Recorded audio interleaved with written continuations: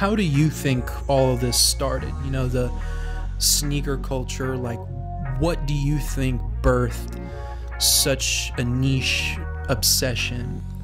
I think it was multiple factors, probably pop culture, um, rap music, and basketball. And for basketball, I would say it started in like the early like 1920s when like Chuck Taylor did his collaboration with um, Converse, and then it like revamped in the 70s, and then like that's how the basketball culture started, and then the Rep Your School or something like that, where they uh, had different schools with um, dunks on it, and then like that's how it started, in my opinion. Then of course Michael Jordan and that's really where it blew up. Yeah. And then uh, rap music is just so many like famous people popularizing silhouettes, like Nelly with the white Air Force Yeah. One, You go back to Run DMC, Run DMC even in with the superstars. They're them popularizing like how clean they kept their shoes and like the white Air Forces, how they like their Jordans, and all of that. Pop culture as well, like just like niche things across like the country. Like I know. Like I'm from Maryland, shoes like the Foamposite are like Yeah, very sacred. Yeah, and then not many people know this, but like Baltimore is the reason why we have Air Forces because like they were gonna shut it down, but it became really popular Baltimore around like 83, 84, and they decided to keep it. Also popularized the New Balance 990 in that area, and then on in like California, uh, Vans were popularized Yeah. because of their pop culture and just different pop cultures. And skating basketball. culture. The the emergence of social media is such a huge X factor of making sneakers so popular. What what kind of role do you think social media has played? when celebrities like Travis Scott or Kylie Jenner post and like post their sneakers and the price goes up, you can see like how influence can influence the market as well. Like people watch Travis Scott's shoes and hope that he wears a shoe that the price goes up. So like that shows how much um, celebrities influence the sneaker market and there's just like there's like celebrity sneak watch where you're like oh this celebrity's wearing this this celebrity's wearing that. And yeah some people want to be like their celebrity so they'll go and purchase the shoes as well. Do you think there's one sneaker that was the catalyst? so the, the sneaker that started it all? Yeah, this, is there one specific sneaker that, that you would say started everything? yes and no. I think there's like i think there's sneakers that like started the movement but like i can't isolate it down to one. I can I- isolate it down to like a couple. And those those two would be the chuck taylor and the jordan one. Uh, the chuck taylor is just getting into basketball and stuff and like without the chuck taylor i don't think there would be the jordan one because Right. it just started the um like wanting to keep your shoes clean and it has like it transcends to every it transcends to snater, skaters uh, basketball players casual wears and then the jordan one really started like the sneaker trend that was the shoe that started it all in my eyes But do you personally think that it was one specific sneaker that got you into sneakers? I think it was um, learning about the sneaker culture. Um, how I started was that like I didn't really care about shoes that much. I had a pair of like all red Vans, and I'd wear those like all day, every day.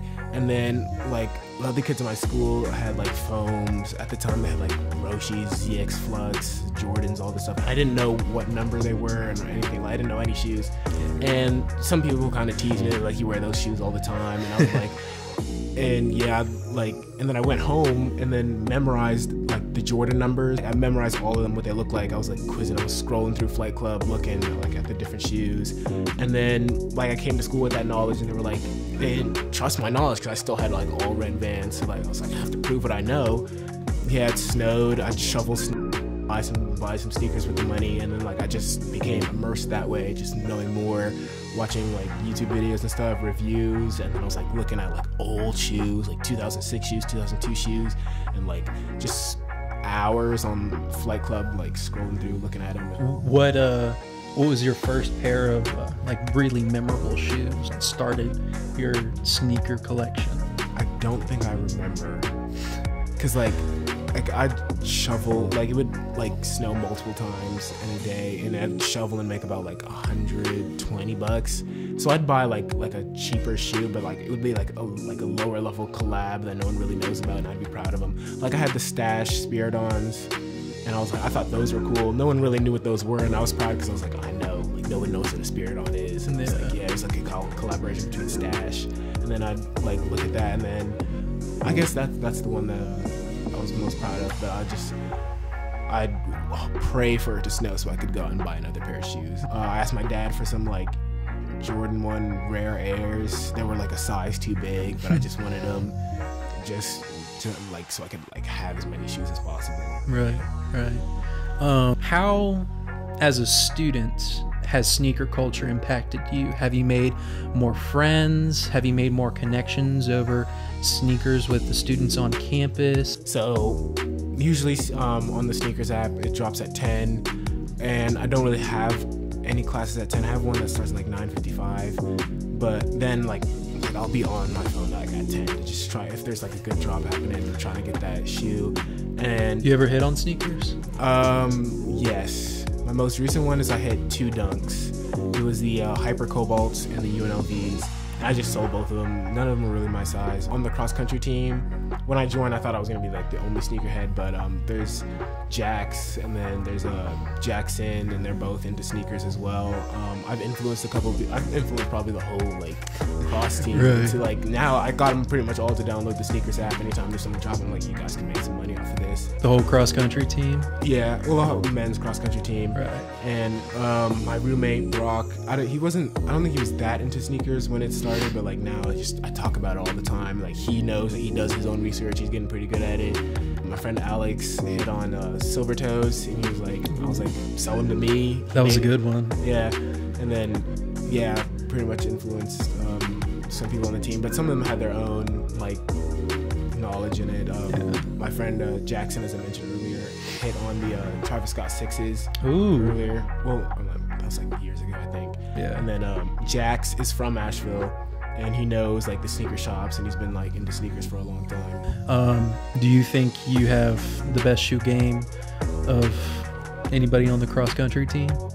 Yeah, I, I would think so because like I spent like a lot of time like getting into it, but like Yeah. they have some there's some guys with some really good. Uh, Some heat, Yeah. some nice stuff. Yeah, Jax, as I mentioned earlier, uh, bought flu games. There was a size too big for him, but he had like flu Yeah. games, so I, I can't knock his hustle. He's, he's pretty up there as well. So we know you're first place. Yeah, Who's second yeah, place? I'd, I'd probably give it to Jax. Jax. Nice. Do you think you have the best kick game of any athlete on campus? I, I think so. Maybe not like like in general because like some of my sneakers are like not as popular, but like I think like in like rarity and like coolness, I think so because I have like like the Parra Spiridons and the story behind like Parra, the the artist from Amsterdam, and did Yeah. a collaboration with um, Nike, and I have those, and I'm I'm pretty proud of those. I have like Celtic Dunks, I think, from 2004, like Skeleton um, Air Force One, and then I have like the Crepe Air Max ones, and oh, I'm looking to get the my next one, the, Clot Air Max One, and the um, Bacon Air Max 90. Why are you a sneakerhead? Do you have like a, an emotional connection to sneakers? Um, one of my favorite things is uh, the story behind it, and just like the fact that you could be wearing art on your feet. Like I, I'm a fan of collaborations as well, Yeah. or just like cool looking shoes, like shoes that tell a story a little bit. Right. Like Like a like another form of expression Yeah. through what you wear. yeah. So most of the shoes I have, I, I know the history behind it and how it started, how it popularized and stuff. How like the Blazer was like a, a, a, a popular basketball shoe. Like I just I like to know the history behind it, and I think it's a cool form of self-expression.